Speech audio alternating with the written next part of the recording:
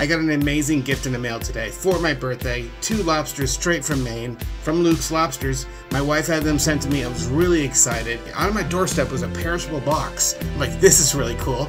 So I'm really looking forward to eating them. I'm going to show you guys how to cook them the right way. Thank you, Mel, for getting these for me. If you haven't subscribed yet, please hit the button below. Thanks for joining me. This is Loudboy. Let's go get them. And here they are. The one on the left is Bob, and the one on the right is Timmy. My son named him. All right, Timmy and Bob, you guys ready? All right, let me check on a couple things. I'll be right back for you. Okay. So one of the best methods is to steam your lobster. So I have two or three inches of boiling water, okay, and steam will do the rest. Now, what you want with your water is liberal amount of salt. using big old pinches of kosher salt here. Ah, you want it to taste like the sea. And they gotta stir up, making really nice salty water. Of course, best mates are melted butter and lobster. So we will use the simple device of the microwave to melt the butter. We could go clarified butter with this, but um, you know what? I don't really care. I don't mind some milk solids in there. So let's microwave this. It's a pro tip. This is a chopstick. Put that in, and when it hits boiling point, it will not boil over. The chopstick prevents that the bubbles stick to it. So there you go. Put a chopstick in anything that you attempt to boil in a microwave. Make your life a lot easier. Before we put them in the water, we need to take off their rubber bands from their claws. So just cut those off real quick. Oh, yeah, I know. Start, don't start getting snappy on me, guys.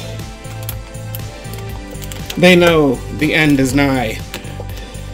Alright, Timmy and Bob. Here we go. Rubber bands off. Time to go in the water.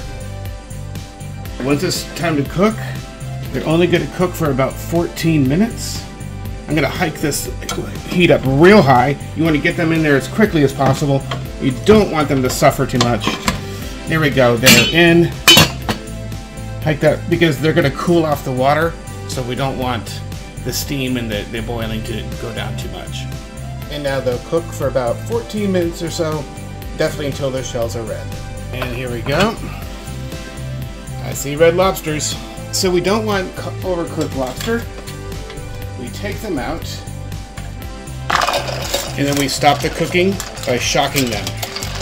Okay, we're shocking the lobster in an ice bath. Time for Bob to come out. Bob goes into the ice bath. Sometimes you have a like, little residual weirdness that comes out of them. It wasn't a living organism 14 minutes ago.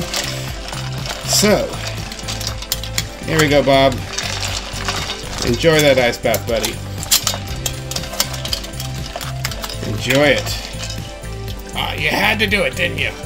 As Bob and Timmy look on, I'm going to show show them their final image.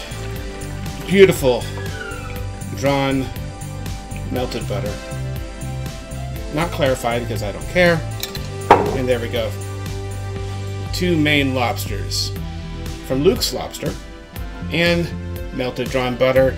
Happy birthday to me. Seemed appropriate. I broke out Grandma's serving dish. I have one of the little cracker deals and a picker fork.